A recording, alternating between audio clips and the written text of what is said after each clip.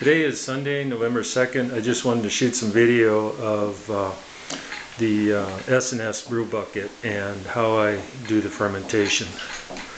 Um, what I've got in the top of the brew bucket is uh, a blow-off tube and uh, the reason I use that is because the rubber bung that goes into the opening with the airlock, similar to that, uh, would uh, cut, the, the stainless would uh, cut the uh, bung. So what I do is uh, put this tube in there and um, and then into uh, sanitized uh, sanitation Star San liquid. So you can see the um, uh, fermentation going on with the uh, blow-off tube as an airlock. Um, that S&S Technologies sent me this this hose blow-off tube.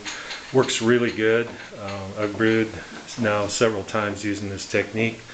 No problems with it. So just wanted to show you some video of uh, how I remedied, or S&S Technologies has remedied a uh, uh, a problem that I had with the brew bucket. So it works great.